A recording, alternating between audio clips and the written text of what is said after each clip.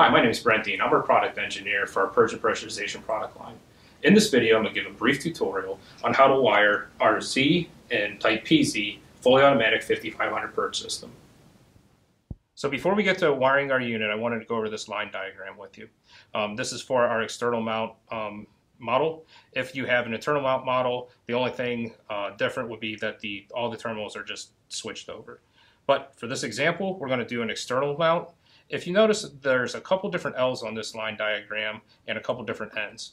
All of the N's are connected via a bus and all of the L's are connected via a bus. So if I provide power to one of the L's, in turn all the other L's are energized. So if we start over here, we have our K1 contact. This is our enclosure power contact. You provide power to one side. Once this contact closes, you'll, be, you'll provide power to your enclosure. Then we have our um, K2 contact. We have our common, normally open and normally closed.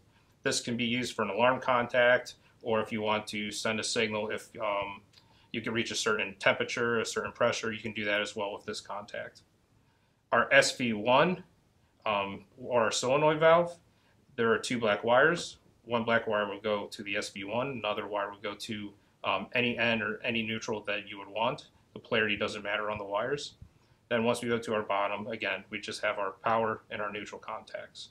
Over on this side, you'll see a T1 and a T2. These are for uh, PT100s. They'll work with any intrinsically safe PT100. And then uh, the bypass terminals are for an external bypass switch um, if you would want to utilize that feature. So now let's get to wiring our um, actual uh, control unit. Okay, so here's our unit. As you can see, I already have two wires connected, the black which is going into our hot and then the white going into the neutral. Now, on the line diagram that I showed you, again, all of the L or the um, hot terminals are connected on a bus. Now all of those are hot since we are providing power to the one, um, the one L terminal. And neutral, again, those are also all connected by a bus. So now I just connected um, the cabling going to our enclosure. The K1 is a normally open contact. There are two K1 terminals, one on the top and one on the bottom. You can connect to whatever one you would like. Once your purging cycle completes, the contact between these will close, providing power to your enclosure. So now I just connected, um, you can see these two black wires. These are going to our solenoid. Um, on our solenoids, there are three wires. There's two blacks and a green. The green is ground. The blacks, you can wire either one into the SV terminal and one into any of the N or the neutral terminals. Uh, the polarity on the on the wires um, is independent. Okay, so I just wired up our alarm contact. Um, you have a normally open, common, and normally closed contact. I connected to our um, normally open contact and then our neutral um, down at the bottom. Again, I could connect it to any N and you can wire it however you want but uh, that's just the, the neutral terminal that I chose to connect to. Now, um, if you lose pressure um, during during your pressurization phase, what this will do is if these alarm, uh, normally open alarm contact will close, energizing your alarm.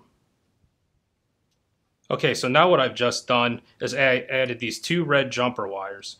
All I was doing was um, we have an L terminal on the bottom. I was providing power from this L terminal up to our alarm common. So now I have our alarm energized. And I also provide jumped the enclosure power over to this L terminal, which now I can now provide power to our enclosure. Another way to do this connection, you can bring in um, a different power source if you don't want a jumper to the power that you're providing to the unit. Then you would just wire in whatever power that's coming in um, to, to that you want to go to your system. You would wire to the K1 terminal. Once you go through your purging cycle, the, the K1 contacts close, providing that power to your enclosure.